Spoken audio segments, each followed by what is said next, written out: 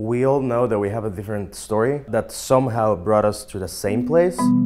My name is Luis Herrera. I'm a classical percussionist. I'm from Costa Rica. As soon as I walked inside and I saw Jordan Hall, I was like, oh my god, I need to practice. Like, everyone sounds so good. There's something about the environment that as soon as you walk on stage for the first rehearsal, you can feel that everyone is willing to do their best, just constantly improving, helping each other. We just played Petrushka a couple weeks ago. One of our faculty members said it was the best Petrushka he has ever heard. That definitely comes, yes, for the students, but also for the faculty, like the, the amazing faculty that we have involved, we can definitely tell how much they like what they do. One of the cool things about the percussion studio at NEC, and I think everyone else at NEC agrees with us, we're kind of like brothers and sisters in a way.